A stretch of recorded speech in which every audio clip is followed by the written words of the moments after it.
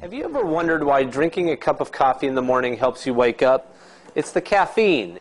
90% of Americans eat or drink caffeine every day. The average is about three cups of coffee, or about 300 milligrams of caffeine every day. After you drink caffeine, it travels from your stomach into the bloodstream and makes its way to your brain. Here's what a caffeine molecule looks like. In your brain, there's a chemical called adenosine, shown here in red. When adenosine attaches to a nerve cell, it slows the nerve cell down. Adenosine is the chemical in your brain that makes you sleepy.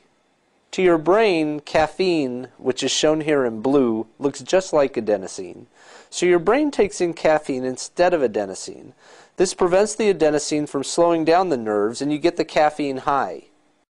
The caffeine high wears off in a couple of hours, and by that time, most people are reaching for their second cup.